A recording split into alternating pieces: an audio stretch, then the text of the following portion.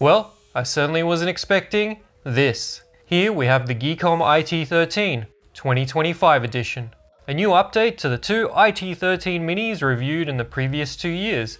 There's been a CPU swap, but that's not all.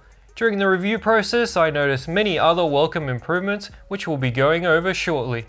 What hasn't changed is its appearance. It looks exactly the same, with the outer plastic shell reinforced with a metal frame inside it. Intel's i9-13900HK CPU replaces the previous top IT13 model, which had the i9-13900H, without the K. What's the difference? Very good question. I struggled to find the answer myself. It turns out the 13900H has vPro Enterprise eligibility, while the HK has only the Essentials. Whoa.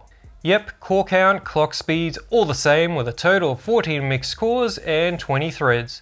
Still, Geekom says the IT13 2025 edition outperforms the previous i9-13900H model by around 10%. I'm assuming that's in multi-core, and we'll see if that's the case. First improvement of many with the 2025 edition is that it comes with a much more compact power supply than the previous release. Otherwise, the accessories remain the same with a HDMI cable and VESA mount. Geekom's 2025 edition mini PC comes in at 659 US dollars on the official website and there's a 5% off code that brings it down to 626. It's also available on amazon.com. Geekom is one of the few brands to offer a 3-year warranty on all its mini PCs. Oh, and for Aussies, I was given a 12% off coupon to share specifically for the Australian store. It's Robbie Tit 13. Yep, that's how I see it. Okay, for the ports, there's dual USB 3 10 gigabit on the front, with one of them being a higher power charging port. Also, a 3.5mm audio jack is included. On the left side is a full-size SD card reader. Nice. And like practically every mini PC, inside it is an M.2 wireless card for Wi-Fi and Bluetooth. On the back is a 19 volt barrel jack connector, dual USB 4 40 gigabit with neither supporting USB power delivery, Intel 2.5 gigabit LAN, dual HDMI 2.0, and USB 3 10 gigabit as well as USB 2.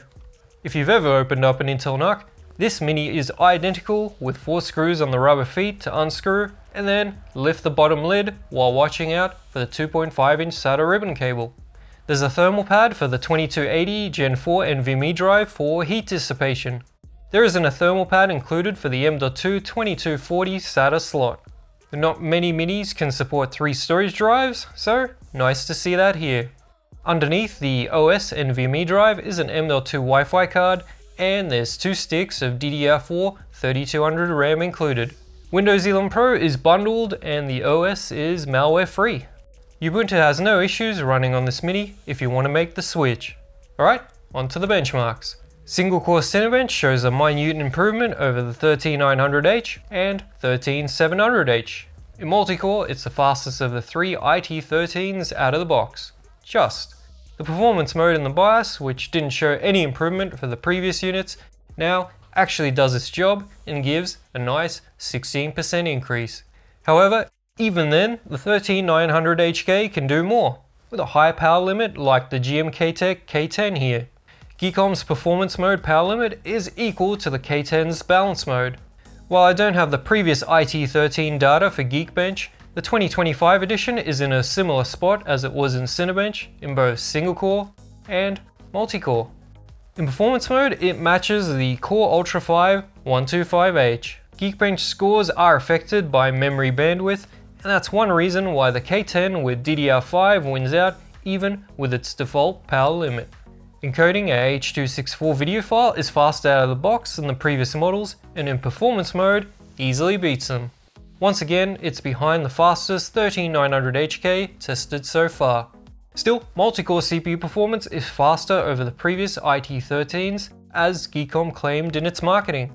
Longer AV1 video encode chart is missing the older IT13 data, however, comparing to the K10, it narrows the gap a bit.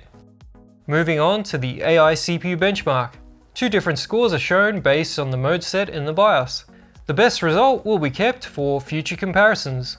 While the 13900HK does decently in quantized, its single and half precision are less impressive, being beaten by the Ryzen 6600H unless you switch to performance mode. That's the AI CPU side. Let's switch to GPU, and it does poorly.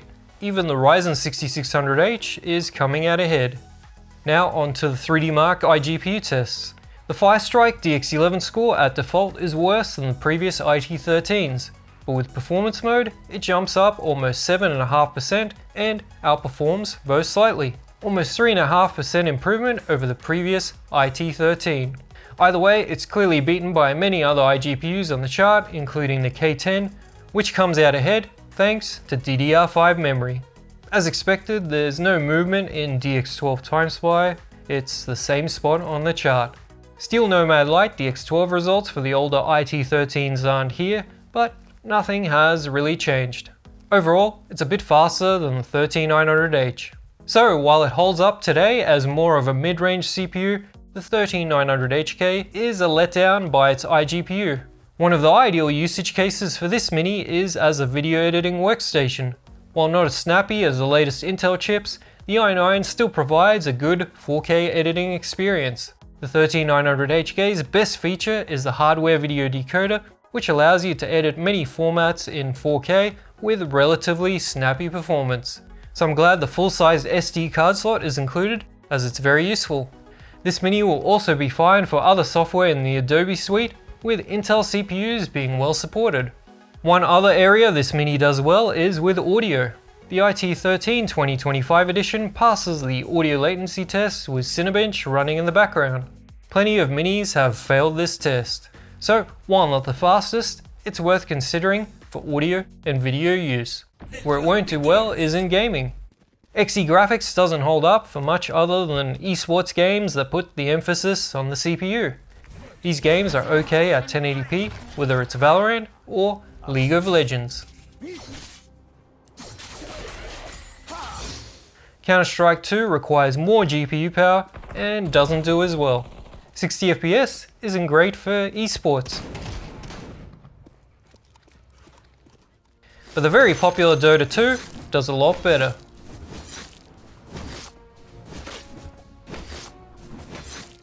Less performance hungry AAA games like Forza Horizon 5 can get above 30 FPS at 1080p low, but others like Cyberpunk 2077 are a natively rendered pipe dream, and even with upscaling, don't hit 30 FPS. And as another example, it's the same with Baldur's Gate 3.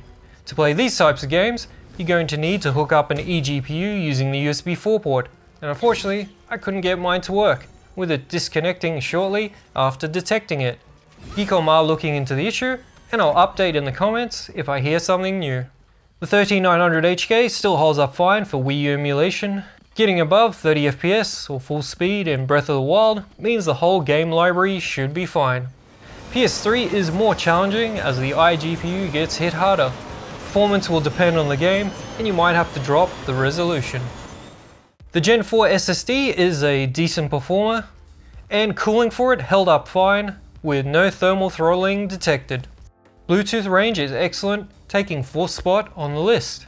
I didn't have any major issues with wireless internet at 12 meters or 39 feet from the router using the 5G band. It was tested playing a full game of Valorant. The game client is quick to point out any dropouts or latency problems. Idle power draw is down by 1 watt over the previous units, coming in at 11 watts.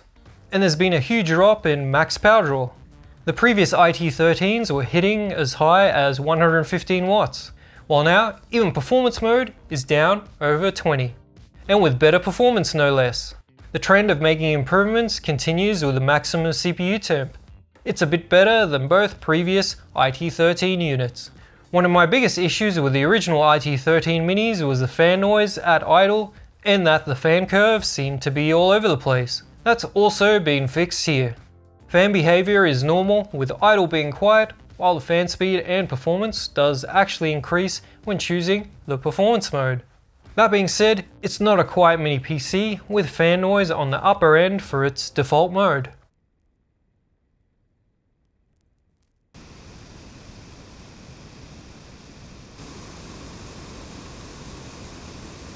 All the Geekom IT13 minis are the same size, which is smaller than the average mini PC tested.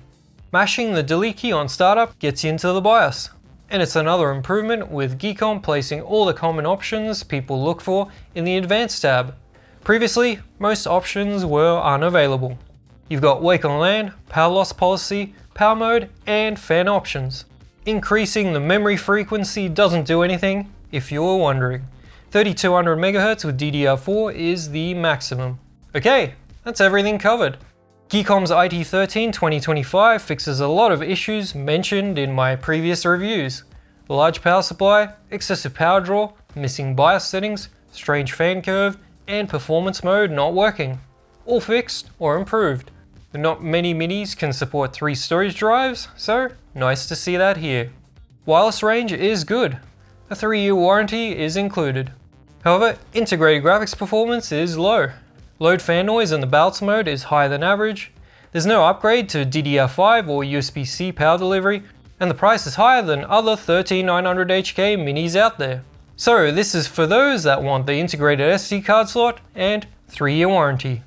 I don't know if my previous complaints specifically made a difference, but most of them have been addressed with the Geekom IT13 2025 edition, and in the end, that's all that matters.